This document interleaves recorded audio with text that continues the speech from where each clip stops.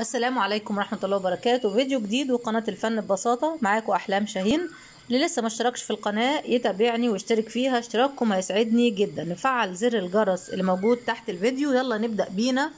علبة بلاستيك صغيرة من علب التلاجة. عايزة أغير الاستعمال بتاعها فهغير الشكل بتاعها.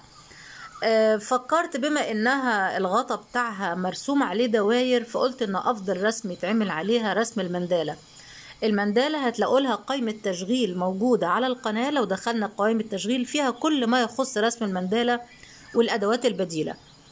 آه المندالة طبيعي إن أنا بحتاج برجل وببدأ أرسم مجموعة من الدوائر وأشتغل فيها. غطا العلبة بالدوائر اللي عليه شجعتني إن أنا أخلي التغيير في شكلها في رسم مندالة. هستخدم المندالة التنقيط أو الدوتنج. الأدوات البديلة اللي أنا حطها لكم في فيديو قبل كده كل ما يخصها أنا هحطه في صندوق الوصف. دهنتها أكريليك أسود استنيت لما الغطا والعلبة نشفوا وابتديت أشتغل عليها.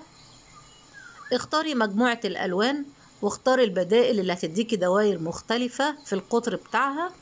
وابتدي فنني بقى. المندلة عمري ما بحط شكل محدد قبل ما أشتغل. هي بتيجي معايا وأنا برسم بتيجي معايا الأشكال وبتيجي معايا الفكرة.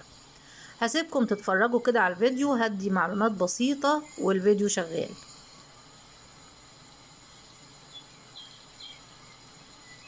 كل الرسمة بتاعتك بدوائر مختلفة في قطرها أو في حجمها زي ما قلنا.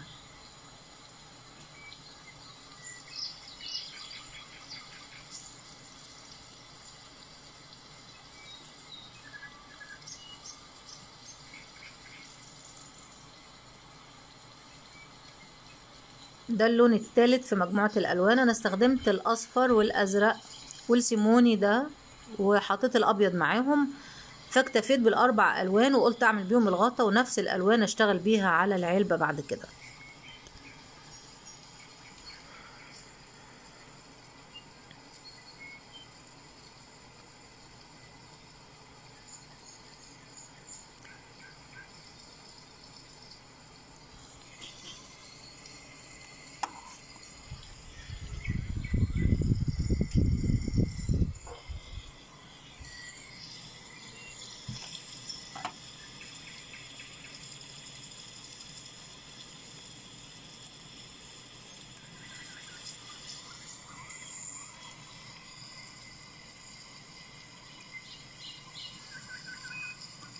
الحرف بتاع الغطا حبيت أحط مجموعة الألوان اللي معايا كلها آه ورا بعض كده بشكل متكرر في مساحة ضيقة فاستخدمت دايرة صغيرة.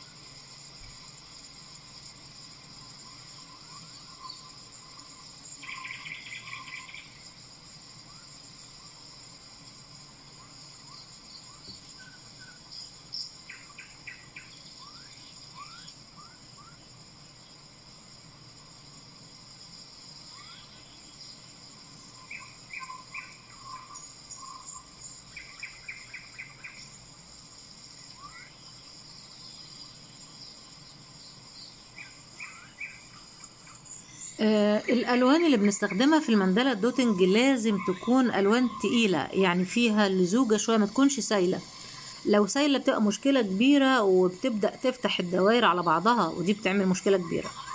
المندلة ال dotting بيفضل إنها تتعمل على شكل مسطح يعني زي ما أنا بعمل غطا العلبة دلوقتي. على العلبة نفسها هتبقى متعبة ليا شوية لأن الشكل مستدير ومنحني فبتبقى صعبة. عشان كده محتاجين الألوان تكون فيها لزوجة تقيلة شوية. أي مندلة dotting بيكون معاكي كمية من اللون اللي انت عملتيه في الأرضية عشان أصلح بيه العيوب اللي هتحصل بعد كده في الدوائر. الخطوة اللي أنا بعملها دي خطوة مهمة جدا. استنيت لما كل الألوان نشفت تماما جفت وببدأ أضيف جوه كل دايرة دايرة أصغر بلون مختلف. يعني الدايرة الزرقاء حطيت جواها أبيض الدايرة السيموني حطيت فيها الأصفر وهكذا زي ما أنتم شايفين. ده بيدي شكل كويس قوي للدوائر المختلفة وهي جوه بعضها. الأصفر اهو بحط جواه سيموني وهكذا. دوائر أصغر جوه الدوائر الكبيرة وزي ما قلنا ما بقومش بالخطوة دي إلا لما ألواني تكون جفت تماما. خلصت الغطا جينا للمشكلة بقى اللي هي العلبة. لما باجي أعمل على جسم علبة زي كده أو إزازة بتبقى الألوان مايلة العلبة جسمها مايل فتلاقوها تبدأ تسيح على بعض شوية. عشان كده كل ما تعملي مجموعة من الدواير حاولي العلبة ما تثبتيهاش في اتجاه واحد. ابتدي إيه شوية وشها لفوق شوية وشها لتحت شوية يمين شوية شمال عشان السيولة اللي في اللون ما تسيحش الدوائر على بعض. أبدأ إن أنا أوزعها كده عشان تبدأ تنشف وهي جوه الدايرة. اللون ما يسيلش يعني. اهو زي ما أنتم شايفين كده أفضل إيه ألف فيها يمين شمال فوق تحت عشان اللون ما ي... ما يتزحلقش كده يخرج بره الدايرة في اتجاه واحد. كل ما أعمل مجموعة دوائر على سطح زي سطح الإزازة لو في زجاجة يعني القارورة يعني أو غطا زي علبة زي دي مدورة هتبقى بس دي المشكلة اللي هتقابلنا. ببدأ أمشي حوالين الأصفر بالأبيض. سيبي خيالك خالص بقى لأي حاجة تيجي في بالك اعمليها.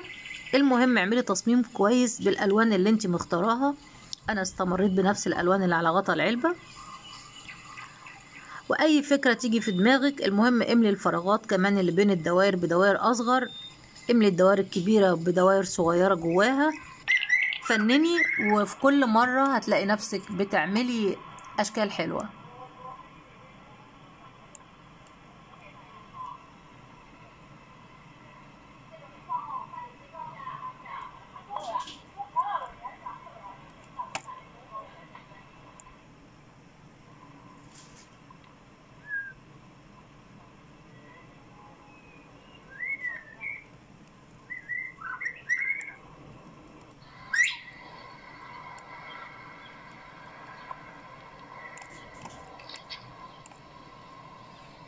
دلوقتي بستخدم ال- الأبيض بإني أنزل بيه بالتدرج اللي إحنا شايفينه ده.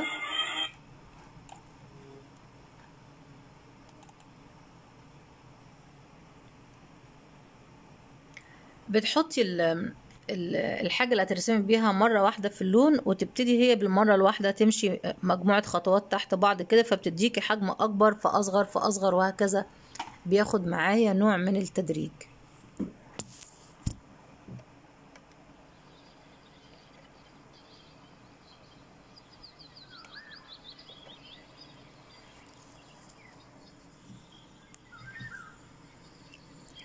لقيت في مساحات فاضية فوق ابتديت أختار الأزرق وأحطه بين السيموني بالشكل ده.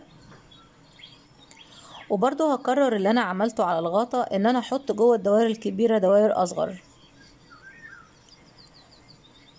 اللون الأسود دوست بيه تاني على المساحات اللي ساحت على بعضها على آه، قاع العلبة لما اتحط على المشمع فأخد ألوان تاني يعني بتظبط الدنيا في الآخر باللون الأسود بتاع الأرضية. ده كده الشكل النهائي. للعلبة والغطا بتاعها. فاضل خطوة واحدة بس خطوة الحماية إن أنا أحط عليها آه، ورنيش آه، مائي أديها طبقة طبقتين هيدي لمعة جميلة ويحتفظ الألوان بنفسها لو جه عليها مية أو حاجة. وكمان لو العلبة بتتغسل الأفضل إن أنا أرشها بالدوك والسبراي الشفاف واغسليها واستعمليها عادي بعد كده تبقى زي الفل. أتمنى الفكرة تكون عجبتكم وأتمنى الشكل والفيديو يكون عجبكم. شكرا وأشوفكم بخير إن شاء الله في فيديوهات جاية.